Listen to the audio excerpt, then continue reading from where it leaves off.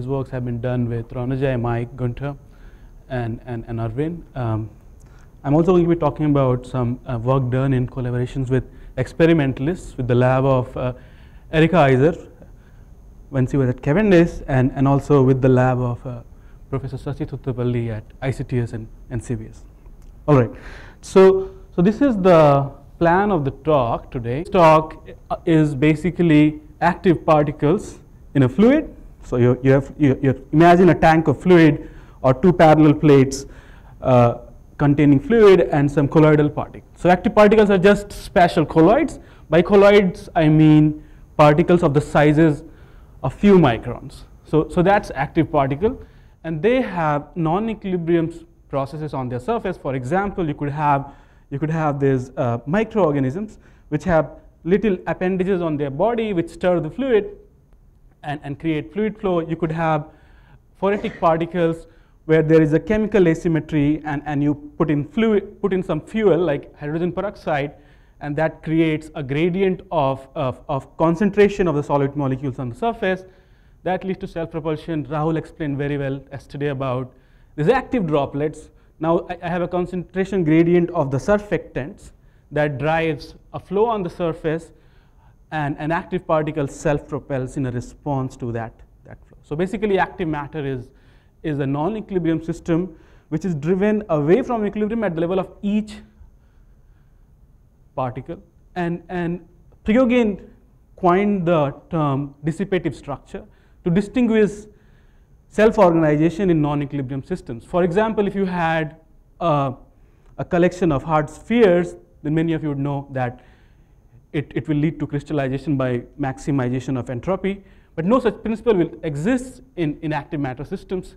Here structures are actually determined by production of entropy or by dissipation of uh, energy, right? So section one, some experiments on active matter systems. So we start with uh, volvox. Uh, uh, volvox are also very important in evolutionary biology. They were discovered by uh, Antony von Leeuwenhoek, who was the father of microbiology and also had made major contributions to microscopy and, and he was just basically using it to see everything he could find. And he, he discovered uh, volvoxes. They are multicellular algae, algae as, as in contrast to Chlamydomonas, which Rahul was talking about yesterday. So Chlamydomonas is, is, uh, is a unicellular organism, so it, it, it switches between motility period and, and, and self-replication period. So sometimes it, it, it, it, it moves and sometimes it, it reproduces. On the other hand, a volvox has germ soma division of labor. So there are some cells on the surface which are called surface somatic cell. They are like chlamydomonas, which have little flagella because of it it self-propels, and, and then there are distinct cells because of which it reproduces. Inside of this, you see um, spheroids, I'm sorry. So you see this spheroids inside of this. These are daughter colonies, and, and because of that, so this is the top view of the volvox these, these daughter colonies uh, kind of accumulate at the, at, at the bottom. So because of that, it keeps pointing up and swims up. So it's like, it's like a toy you might have used back in the day that if you hit it, it comes back. So it always keeps pointing up. It's bottom heavy. So it swims up and, and it swims up basically and, and goes to the top of the sample chamber. And then it forms this, this very interesting, what the authors called a waltzing state. So the, so these two volvoxes come together and, and, and they start spinning around each other. Right? So, so the question is, how uh, general is this phenomena? So this is a green alga. Another experiment on, on um, E. coli. So one thing I probably didn't mention, so volvoxes are about 100 micrometer size and they move about 100 micrometer per second. Here are some, some bacteria which are like 4 micrometer size but they move at 600 micrometer per second very fast. They move very fast. So for them, gravity is not important. And, and what they saw in these experiments is these bacteria go at the top and bottom and form these amazing crystals, like, like really, uh, I mean, as long as there is food, as long as they can dissipate energy, this, these structures exist. There is a crystal in the, in the system. And finally, uh, synthetic systems. So here, uh, this is experiment from the group of uh, Professor Eiser. And, and here, what do they do is they use this, this very well known, which I'll not get into, biotin streptavidin chemistry to tether colloids to an oil-water interface. So these colloids are free to move along the interface, but they can't detach. So they are like skaters. And, and, and one of the reasons to do this is you don't want to deform the interface so that, uh, or also not have any complicated uh, uh, interaction with the interface. And, and for mathematical modeling, you can think of these colloids are like connected to the interface by a spring so that they can skate around. And then what they did do is they, they heat one of the colloids. So this just put heating on one of the colloids, and naively you'd expect from thermal Marangoni flow, as was discussed by Sriram a little bit ago, that the flow will go away, but, but what they see is something very counterintuitive. So initially there is Brownian motion. As soon as the light is on, these colloids come together and, and, and, and, and crystallize. And, and these interactions, these attractions, so to say, about the center of the heating spot is very long range, so it recruits particles from all over the surface, right?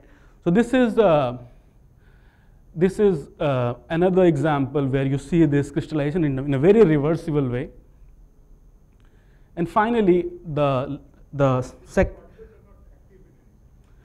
so there is only one particle which is active, which is doing thermophoresis. So for me, active means something if there is something happening on the surface and a particle starts moving, so I just make one of the particle active and all the other particles are like tracers.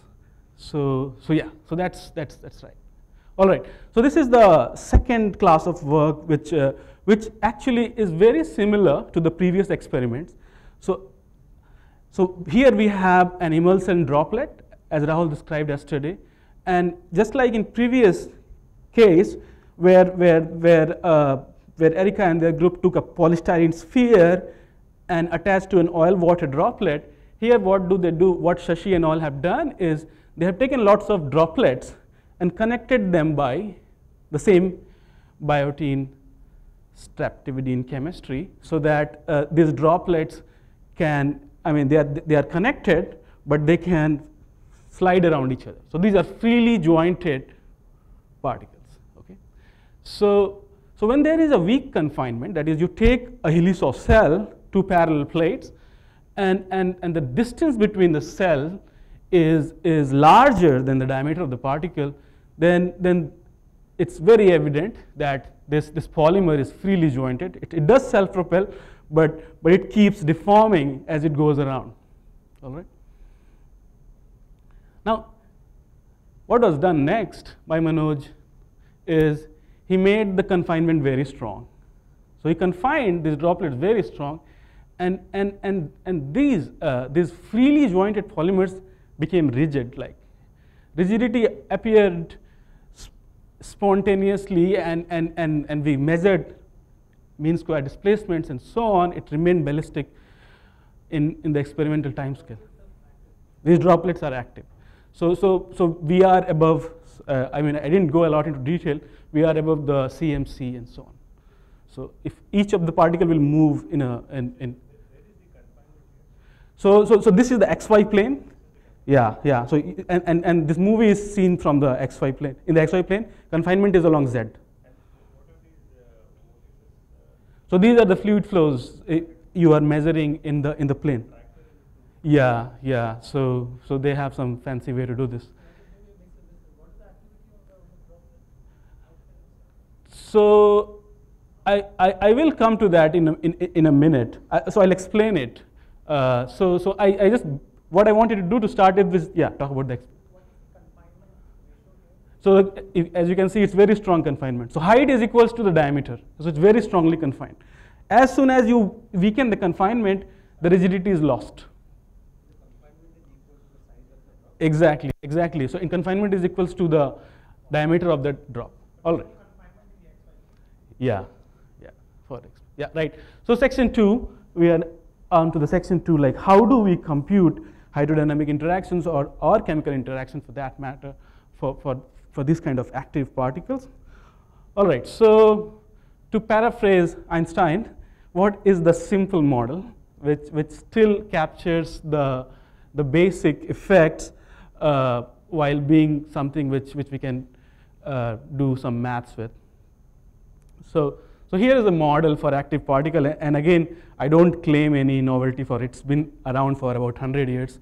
Uh, first studied by Helmholtz and Smoluchowski in the context of electrophoresis. So you model each sphere as, as, as, a, as, a, as, as a particle which has a slip. So apart from the usual no slip boundary condition, there is a slip on the surface of the sphere.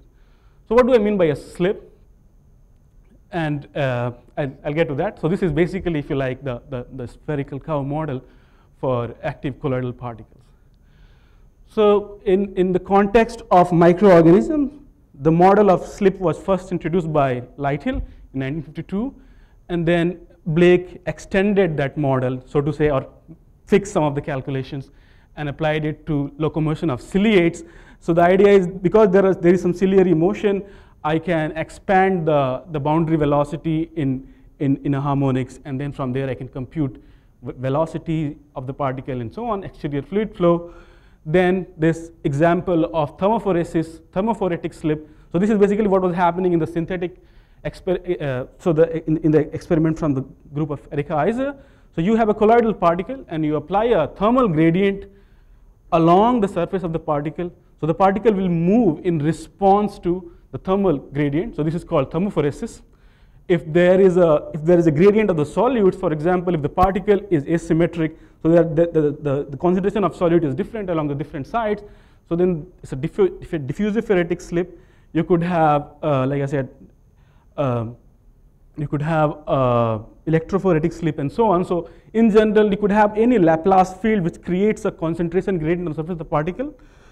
And, and this, is, uh, this is, is the thing with the active droplets.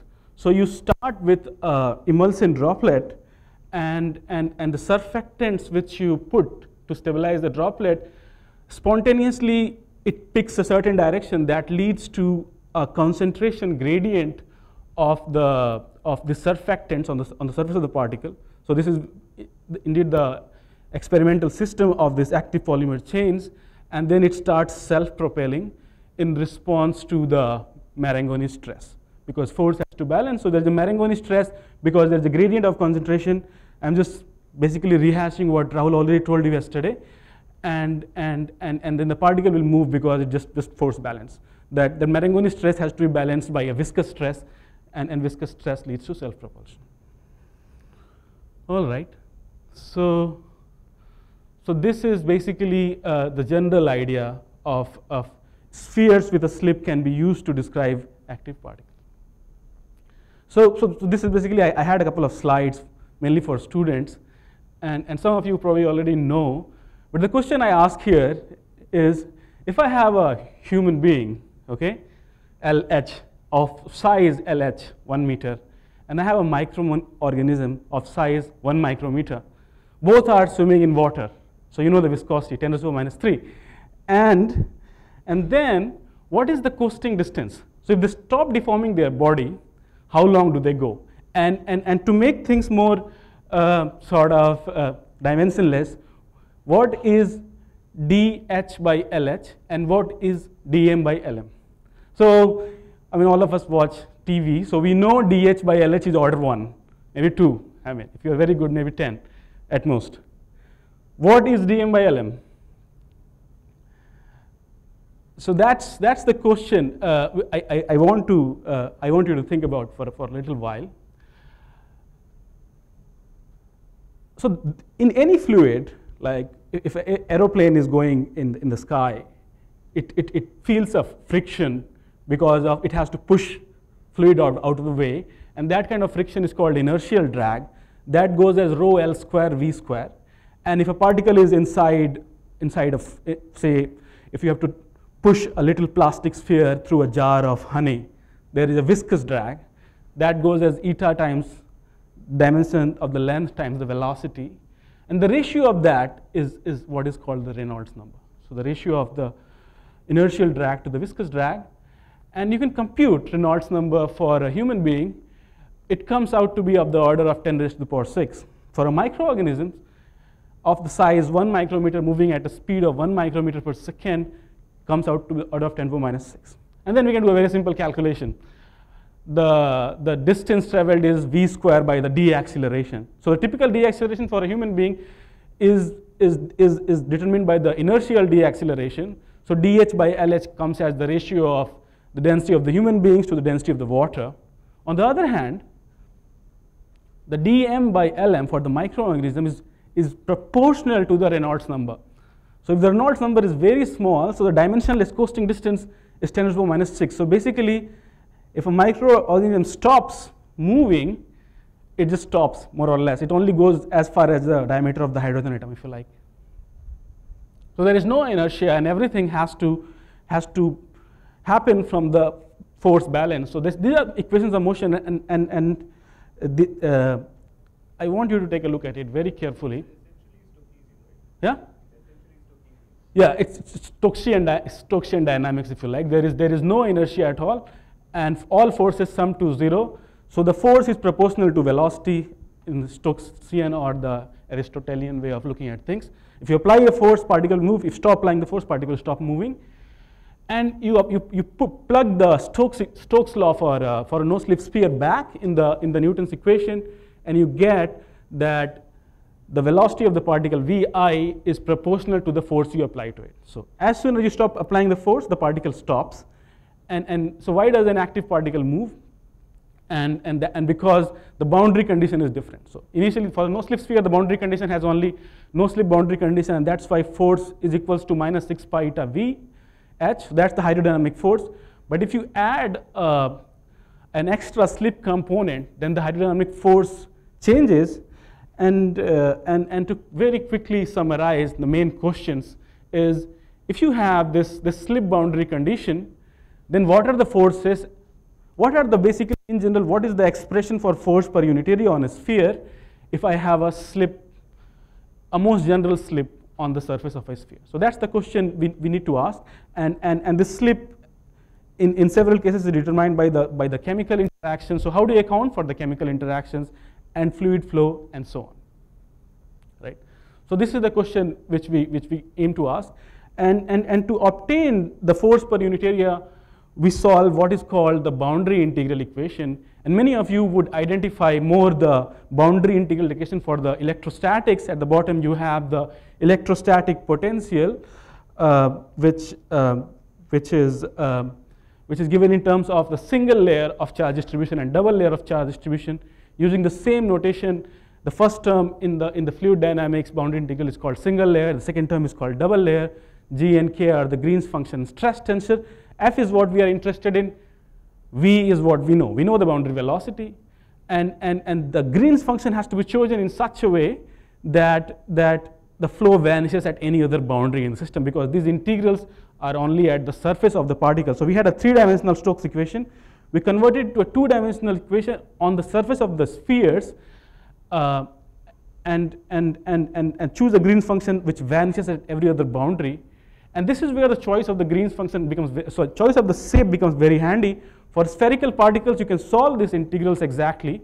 And this is indeed what we have done. So we expand, for example, the boundary velocity in tensorial spherical harmonics, and VL sigmas are the, are the coefficients. So just like if you do a Fourier series expansion, what are the coefficients? So VL sigma are the coefficients. And, and then uh, we diagonalize the linear system. Uh, I say it in line, but it was a lot of hard work for Gunter.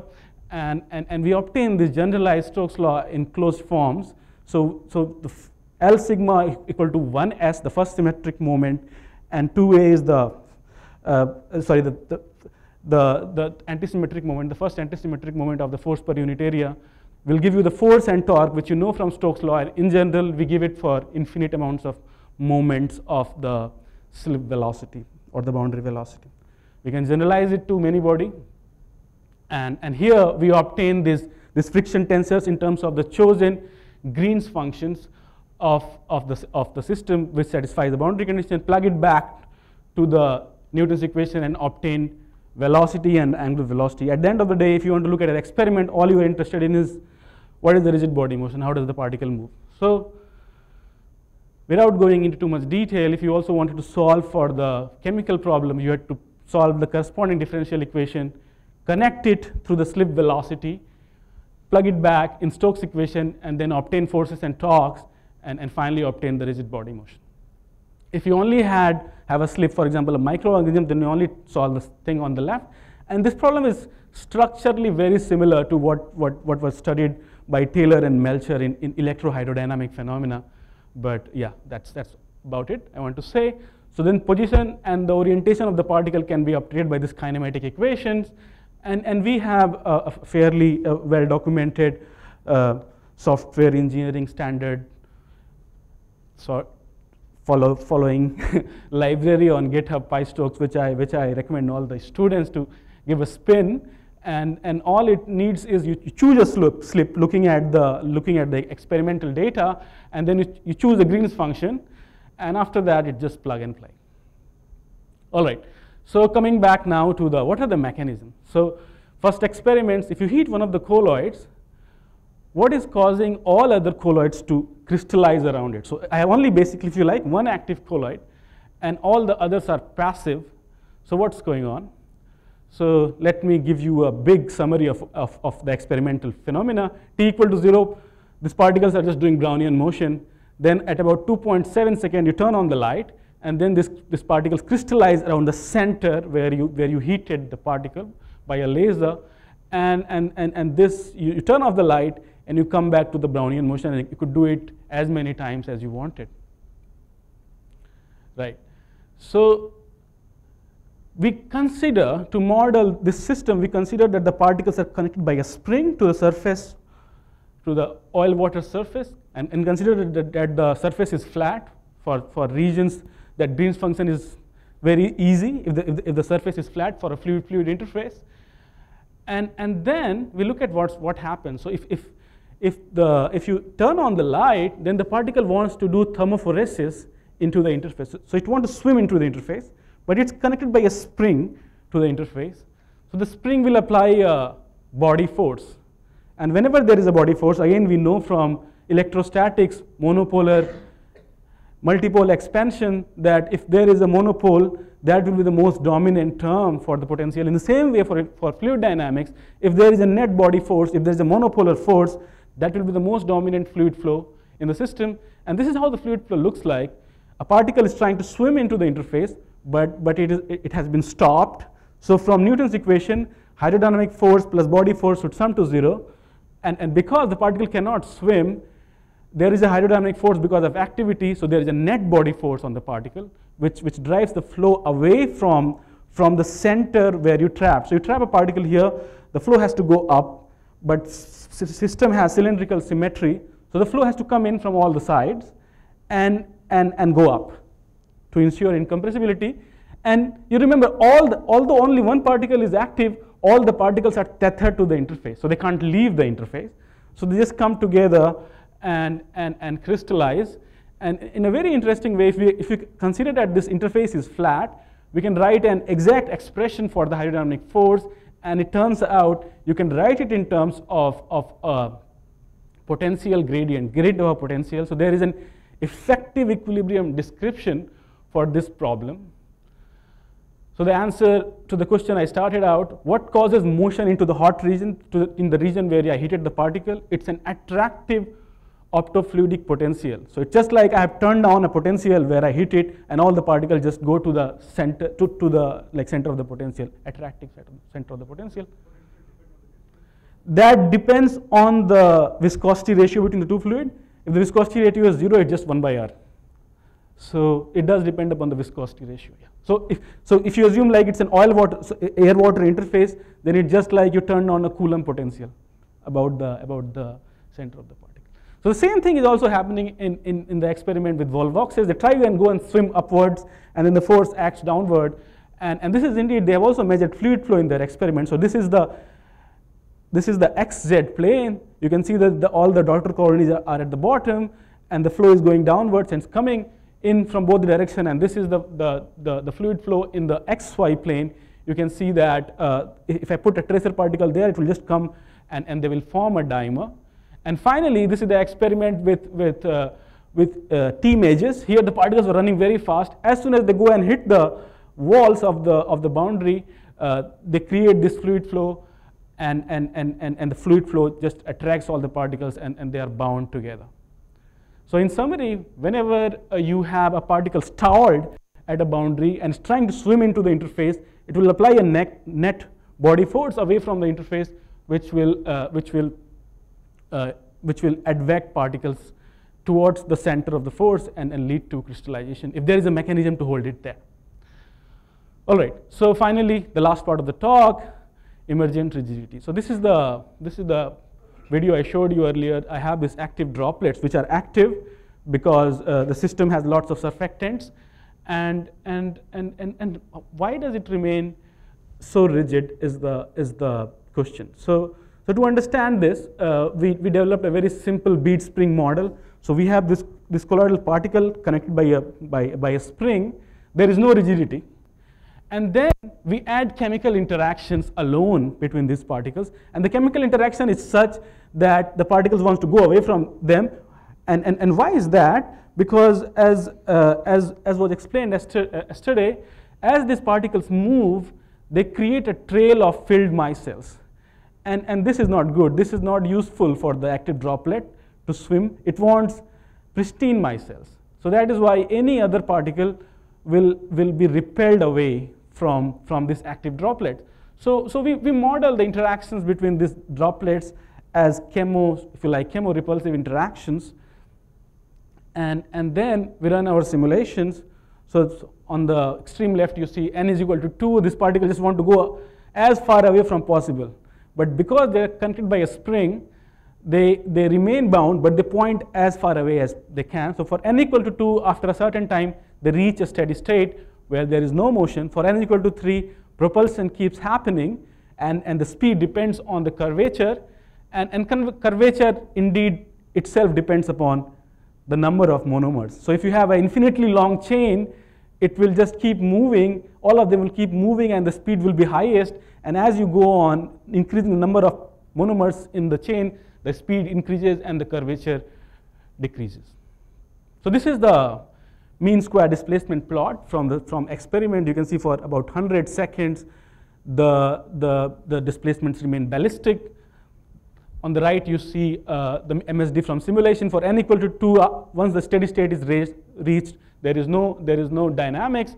But for any other uh, n, for any other number of monomers in the chain, the dynamics remains ballistic because the chain has become stiff. All right. So what happens if what is the stability of this configuration? So in, in the experiment, yeah, Kaveri, tell me. Sorry? Velocity are increasing and saturating as a function of n. So an infinitely long chain, so because, so from, from, from this plot, at least from this movie you can see, everything is, else is same for the, for the largest number of monomers, n equal to 8, it goes the fastest. So, so from, from this plot, uh, yeah, wait, so n is equal to 1 is the highest, but n equal to 2 is 0. So, n, so the maximum velocity which you can get is n is equal to 1. So n is equal to 1 is same as n equal to infinity right? That, that, that's, it's, it's, yeah, that's, that's the thing. So that's the normalized velocity. n equal to 2, 0. So n equal to 1 is like the maximum you can get ever.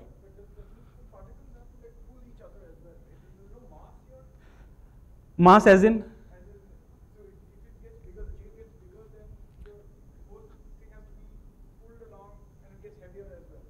So, so there is no inertia, but, but, but, but, but there is a drag. That's why, I mean, it, it so, so there is a drag.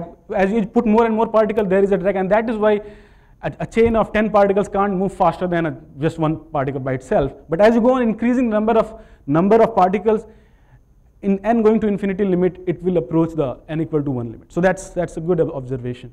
So for n is equal to 2 because only for n is equal to 2 you see a saturation because the particles just rotate away from each other and once they rotate away, in simulation, we don't put any noise or any sort of thing. But in experiment, obviously, there are some experimental noise. In, in the experiment, what they see is they remain static and then they suddenly jump. there is some chemical coming from somewhere which leads to destabilization. Yeah, Rahul, tell me. No, no, they are all identically prepared and so on. But, but one, once they are in the chain, so, so it's, it's a very good question. If you want to model their fluid flow, it so turns out that the slip of each of them is different depending upon where they are. So, so that's, that's a good point. So, so yeah. So suppose in the experiment, obviously experimental system is, is, is there, there will be lots of polymers which you can form and a polymer can colloid with some other polymer and, and transiently form a S state. So a C state keeps self-propelling as also has been seen in very nice work by Sunil. But, but if, if, if you form a S configuration, then what happens? Is it stable? So this is the experiment. You formed a S configuration by some collision and then that rotates away and drifts into a C configuration and then remains static. So then the question is, do we also see that in simulation? So we, we, initialize our system in the same way as the experiment. It does rotate, and, and then the, the, the, the chemical repulsion between the particles is such that uh, we indeed evolve more or less like the experiment, as you can see for yourself, and then the system keeps evolving in the C configuration, right? So that's my last slide. So I told you about how to compute chemical and hydrodynamic interaction between active particles, and then in between, it was more about if a particle is trying to swim into an interface, and once it is stalled, there is a monopolar force acting on the particle which drives the flow. The whole fluid flow is controlled by the monopolar fluid flow, and that will lead to crystallizations. And finally, rigidity in active polymers can emerge simply by chemical interactions due to the trail they create around them. So that is it. Thank you very much. Rajesh, uh, nice talk. So, in the movies that you showed on these droplets, right, uh, the Yeah. chain of droplets, there were a lot of uh, bright spots around uh, the droplets, which I think is a trace, tracer particles. Yeah, I think so. So you mean you mean? Oh, you, in the- in in the yeah yeah. So, but, yeah. but but there seem to be too many numbers. So, would that affect the bulk viscosity, and would that have an effect on what you're seeing, or or it doesn't matter? I, I I I don't think I have a very good answer to that. Yeah, I don't know. Maybe we can discuss that Yeah later. yeah. How about the effect of branching? So these are. So these are all linear polymers. They, Yeah, they construct in such a way that they end up getting linear polymers. But once you have uh, branching and loops and so on, uh, I think there are some very interesting results which, uh, which, You which, already have that? which from experiments we do. Yeah, but, but yeah, I don't, yeah. So they, they have already explored that. Yeah. So then a similar kind of, uh, you know, uh, velocity profile and other things you saw, sem- similar thing with uh, branching as well? I don't know. Okay.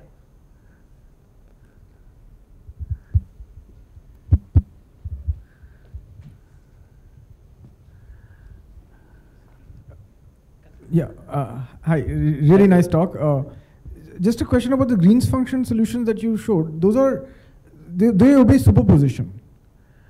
So do they obey superposition? So like because you have to satisfy the boundary condition, uh, you have to invert this big uh, in the in two body approximation they Yeah. obey superposition, but but but uh, in a many body if you want to compute three body interactions, so you yeah. haven't done the three body because here you've got single body. Uh, So, so this, this, this one we did at the level of two body interactions. And most of the times it's, it's, it's all right because it's already decaying very fast. The, the higher order terms uh, will, will be subleading. I see. Yeah, yeah. So qualitatively they won't make difference, but we should really invert, uh, we should do it more carefully. Yashwin. Hi, uh, Rajesh. Very nice, uh, interesting talk, and uh, I'll have more questions to you uh, after this. Uh, uh, just one quick uh, uh, conceptual question. In in fluid mechanics, generally when we are dealing with viscous liquids, Yeah. as you are, we often take the boundary conditions as no slip, Yes. right? Because Go on. we Yeah, yeah, have yeah. competing effects Yeah, between addition yeah, and cohesion, yeah. and unless you have an ideal fluid, across a surface, you have a streamline that has zero uh, non-zero tangential velocity. But this is always zero if you have a finite Right. So we, we do have a no slip boundary condition. You are right. Right. But this is this is again you can you can you can blame Derrida again and all these people. What they say is there is a very thin layer on the surface of the particle, which is say one angstrom, and the particle is one micrometer. And I'm looking at the effect because of this whatever chemical field and and and and uh, microorganism. There is a cilia. So I'm effectively modeling that motion of solute or the cilia as a slip velocity. If you want to resolve the system at one angstrom level, then you should, or, or like, I mean, at the level of the surface, then you will have no slip boundary condition. So in that sense, it's an effective modeling. So you're modeling the system, there is an effective slip rather than resolving that boundary layer.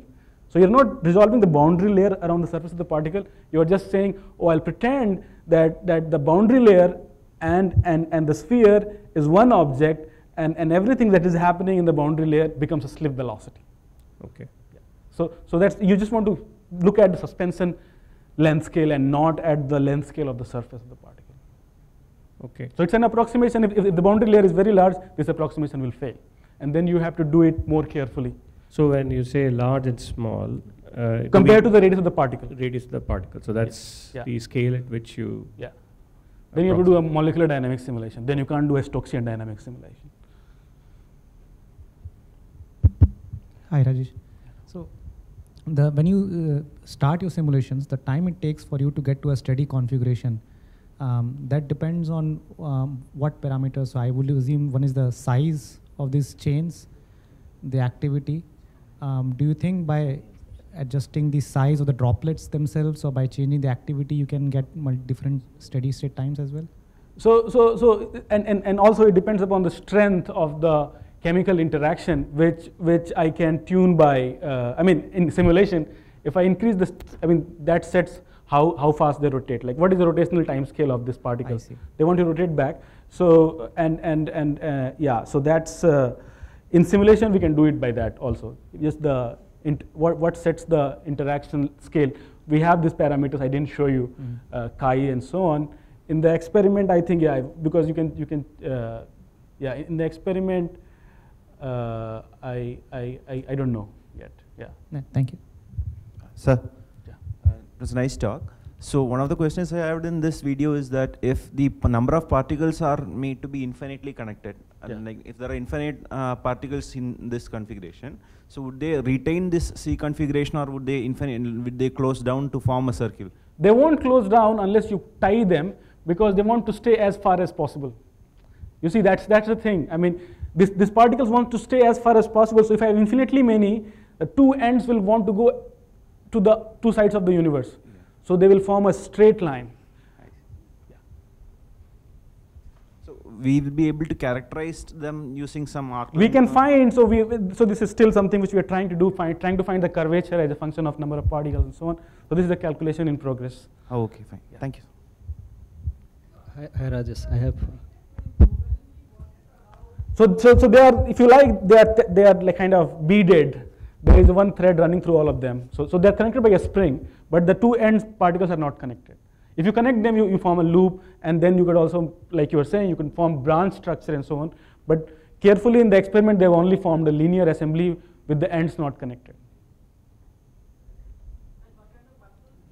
So these are about 25 micrometers diameter active droplets. Uh, yeah, like oil, oil in water kind of droplets. But they, they remain very spherical, so that's why they are very useful in modeling. Yeah, so, just to add, I think see this is a streptavidin biotin chemistry. So what they do is if you in- introduce some of these molecules, right, uh, they can actually chemically bind. So that's how the, that's the linker Yeah, that they exactly. used. It- it's so, the- it's the- so it's a very standard chemistry Yeah, that people yeah, know. yeah, yeah. Uh, uh, Rajesh, just the follow-up of that. Uh, When you look at this binding molecule, right, and, and for n is equal to 2, they are, they are actually rotating, right? They, they rotate away, yeah, yeah, yeah. Then that point has to slip. Which one? Yeah, yeah. So, so it, it is it is actually very freely jointed. It, it can it can move Oh, around. So it's it's the way they, they, they do it. It's truly freely jointed polymer, and and and I think uh, you can you can maybe see that. I think that's a very uh, important point to note is, is um, yeah, it's, it's somewhere towards the, yeah. Yeah, this is the one. So, so you can, you, you can, you can see very clearly that, that they are really freely jointed, just going about each other. They can, they can really do anything. It's just like uh, very flexible. If, if you compute the angle between them, uh, it, it, it, it, it can choose any angle. I mean, we have plots for that, I didn't show it. Uh, It's a green plus moves around, right? The Which green, one? Green plus. Yeah, exactly, exactly. Yeah, that's what it does. Okay, just one small question. In the second uh, topic, is there a spin uh, motion, or is just moving uh, the center of mass motion? So, so, so, so, so there is a coupling, some sort of coupling. So particles do rotate every once in a while, like uh, you, you might have heard. Like there is some persistent; they keep moving in one direction and then they rotate away. So and and and and and and, and also, so is that what you mean by spin? So they are rotating. Yeah, I mean you have this slip condition. So is it generating a spin, or is it? So in this case, it's not generating a spin, but in general, there could be system. For example, Volvox keeps spinning around. Okay. As it moves, it spins, and that is why the dimer it forms, it goes around each other. So, so you can have what are called chiral active particles. You can spinning uh, particles as well. I see. I see. And and and like I mean, this was uh, I think this was, this is a very interesting movie again. Uh, you see here, uh, these particles are spinning very fast, and that's when they crystallize. And I didn't get into this. Like I'm saying, they form crystals. They go to the wall and they form crystal. But what is stopping them to just turn away and go somewhere else? And and it's actually the spinning. So the spinning is giving it like a top-like stability. So any any fluctuation away from the wall gets counted back and, and, and, and they remain stable into the wall. So either you can you can attach these particles to the to the boundary by, by some biotin streptavidin chemistry, or you can make them spin very fast, or you can make them bottom heavy so that they don't point away. So there are several ways you can do it. Uh, yeah. So spinning is, is very useful several times.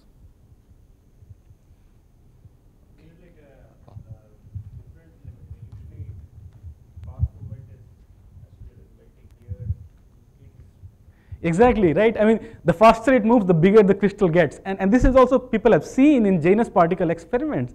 And, and all these people who try to model with ABBP never get it right. Because with, with those kind of systems, the faster it moves, smaller is the crystal size. But here you can see the faster it moves, bigger is the crystal. Because stronger is the fluid flow it generates. So, uh, particle, yeah, Rajesh, uh, nice talk. Uh, so, about this uh, system, so when a particle rotates, I mean, it, will- it will also give rise to that uh, Rotlet field, right? I mean, how does that decay, and then how does the field that you're so, talking so about? the, so the monopole will always be the most dominant field. Okay, that's so, a monopole, Yeah, so, so because when, when it swims into the interface, it's stalled, and, and, and the hydrodynamic force has to be balanced by the monopolar force. I mean, that's, that's the Newton's law. Okay. So that is why once, once it's stalled, it's the monopole. And, and, and every other field will only lead to some, some I mean, subleading effects or, or stabilization of the orientation. So, is it very well understood that the spinning motion gives rise to stability? That's what we did in our paper back in the day. Yeah, so we have done this. You need to you need to spin beyond a certain speed, or you should have a more than a certain bottom heaviness to get the stability. So this is what we did in 2016. We have this uh, big nice phase diagram where we show that you need to have more than a s- certain strength to get the stability. Otherwise, because there is nothing stopping these particles to just rotate away and, and, and go back to the bulk rather than be stable in this big cluster. So I mean that's why the spinning is important. Okay. Yeah, thanks.